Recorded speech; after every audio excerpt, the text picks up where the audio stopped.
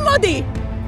क्या है मोदी? कोई नहीं प्रधानमंत्री है। वो बेईमान प्रधानमंत्री है। उसको जीने नहीं देंगे मोदी को। वो 2024 में दफन होंगे।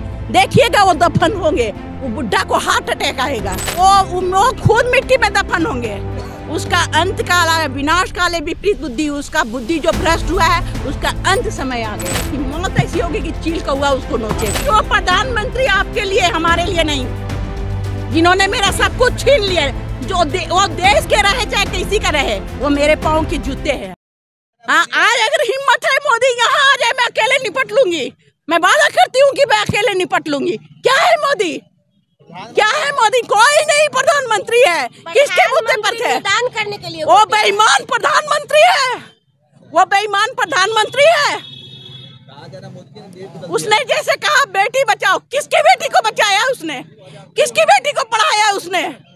किसकी बेटी को बचाया है? क्यों नहीं शादी करवा रहे? ये पोर्टल जारी किए बीस का प्याला भेजे है जिसका दस लाख है उसको दस हज़ार देंगे जिसका दो करोड़ है उसको दस हज़ार देंगे तो बीस का प्याला भेजिए हम लोग के लिए। दस हज़ार में वो शादी करवा लेंगे दस हज़ार में वो अपने मरनी का काम क्रिया भी नहीं करवा पाएँगे। मोदी जी दस हज़ार? कम से कम दे रहे हैं। कितना आपको कितना दिए बोलने के लिए? कम से कम दे रहे हैं। आपको कितना पैसा मिला है ये बात बोलने के लिए? आप भी बिकाओ आप भी बिकाओ आप बोल रहे हैं कि कम से कम दे रहे हैं। मेरा दो करोड़ रुपया है। दस हज़ार में अपनी लड़की की शादी कर लेंगे। करवा दोगे मेरी बेटी की शादी करवा दोगे मेरी बेटी की शादी दस हज़ार में?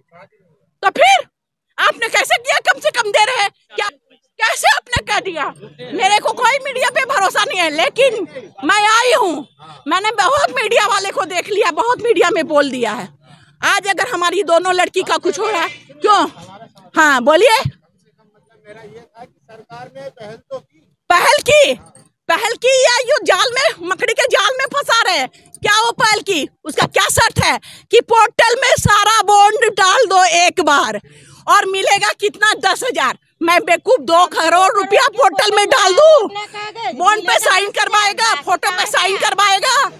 में वो कहेंगे पैसा मैंने आपको दे दिया। कहाँ दिया पैसा हमको दे दिया तो हम क्या करेंगे? उस वक्त आप आएँगे? आप आएँगे? हाँ? साजिश साजिश वो बीस का प्याला भेज दिया। साजिश क्या? साजिश क्या? वो हम लोग के लिए जहर भेज दिया उड़ेल दिया नदी बहा दिया है। लेकिन नहीं लेकिन उसको जीने नहीं देंगे मोदी को। वो 2024 में दफन होंगे। देखिएगा वो दफन होंगे। वो बुढ़ा को हार्ट अटैक आएगा। वो बुढ़ा का उसका सपना वो सपना नीचे मिट्टी के दफन जब होगा उसके अंदर वो सपना देखेंगे।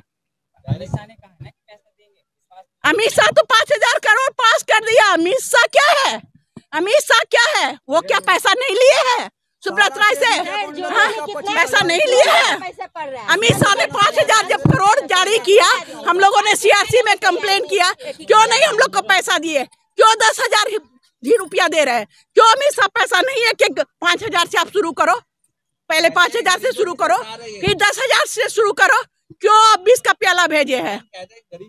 गरीबों की सरकार नहीं है वो बेईमान। अमीरों की सरकार है। अमीरों की भी सरकार नहीं है घुसखोर सरकार है। जिधर से पैसा मिला बिन पेंडी का लोटा है।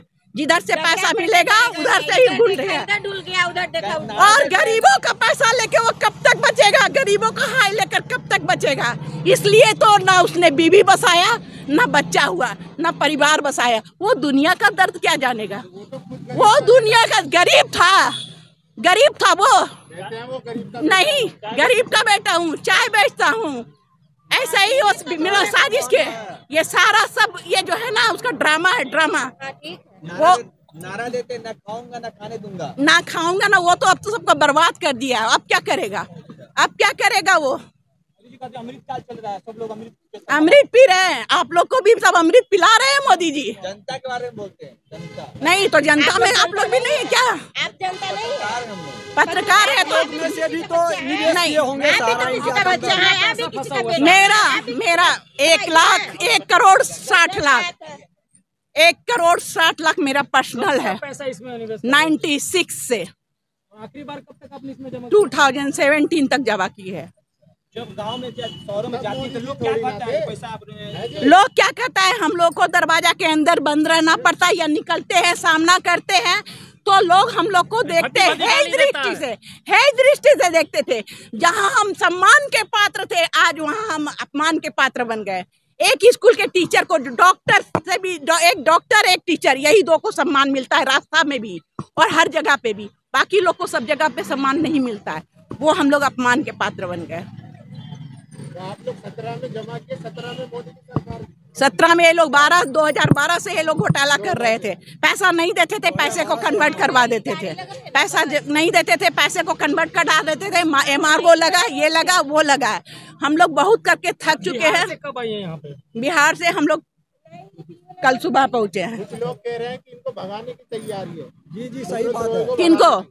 सुब्रत राय को बिल्कुल भगाने की तैयारी है। तो ये किस आधार पर आप कह सकते ये ये उनका उनका बीमारी का बहाना है ये है वो है पासपोर्ट उसका उसका तैयारी है पूरा फैमिली तो उसका चला गया एक सुब्रत राय बचा हुआ है। इसको निकाल देगा खेला खत्म।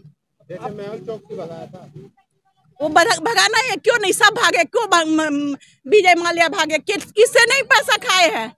किससे नहीं पैसा क्यों गले मिल रहे हैं सुब्रत राय से वो।